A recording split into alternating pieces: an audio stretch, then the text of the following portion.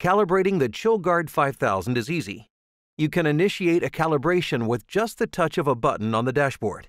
But before you begin calibrating, make sure you have all the necessary tools demand flow type regulator, zero air scrubber, target gas or synthetic calibration cylinder. To begin, select the calibration button from the dashboard and pull out the calibration pin. The display will instruct you to insert the zero scrubber into the calibration port.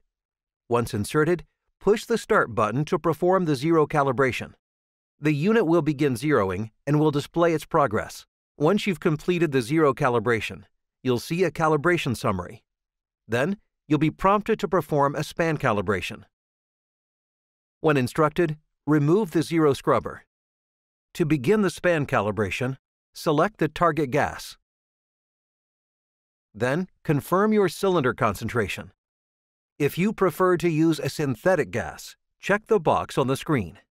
Apply cal gas to the calibration port and then press Start the span calibration process will begin. Once the span calibration has finished, remove the cal gas, reinsert the calibration pin, and set a calibration reminder. The unit will return to the dashboard view. You can review a calibration summary, and the event log stores a history of past calibrations. Easy calibration means less maintenance and more uptime. Trust the experts. We know what's at stake.